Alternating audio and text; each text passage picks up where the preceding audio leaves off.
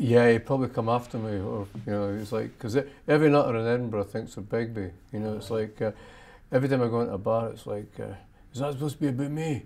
And it's but the worst ones are the ones who don't see it. You know, they go, Funny. it's funny that there's people like that around, eh? You know, one or two, mate, one or two.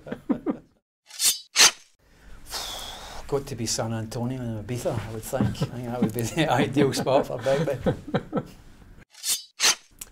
I think it would be like uh, K-Tel's greatest Christmas hits, you know, like kind of Slade and Wizzard and all that, you know, sort of uh, Gary Glitter kind of Paul McCartney, Wings, Oh, everywhere. You'd have them on all the sweet, yeah, you'd have all these albums, you'd have all these on all the time, constantly. It might be somebody like. It might be a football thing, eh? Pat Stanton or something like that. Yeah, Stanton, Stanton, would, Stanton would be a good bet, yeah. Especially at his age, we probably ages with each other. Yeah, so I would think someone like Pat starting, Stanton. would probably be the man for his generation. Peter, Peter Cormack as well. Right? Cormack, yeah. Yeah, there you go. I think it's his, his sister or his mother. Mm-hmm. You know what I mean? It's always like the kind of um, behind every psychopath is a great Harrison.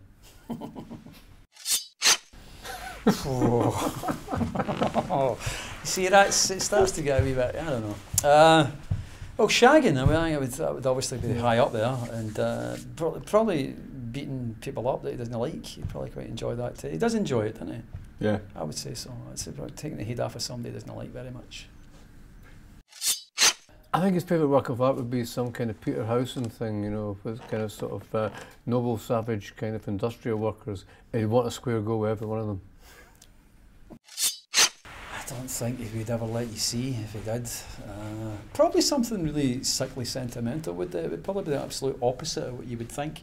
Probably Yeah. something like a kind of like a Pixar film. You know what I mean? Like Yeah. uh, Inside Out or something like that. A Rod Stewart ballad or something like Well, that. sure, well, it does it to me, so why not? He'd want chip shop fish and chips with, with two pickled onion and uh, square sausage along with it as well, like, you know, just have, you know, as, as deep fried as possible and as kind of Scottish as possible. Maybe a haggis supper kind of stuck in there as well. Like. With some brown sauce. Loads of brown sauce, loads of the Edinburgh chippy sauce, basically, you know, the, the mixture of vinegar and brown sauce. Oh, cunt for sure, if I can say that. You know, you asked, you asked me. So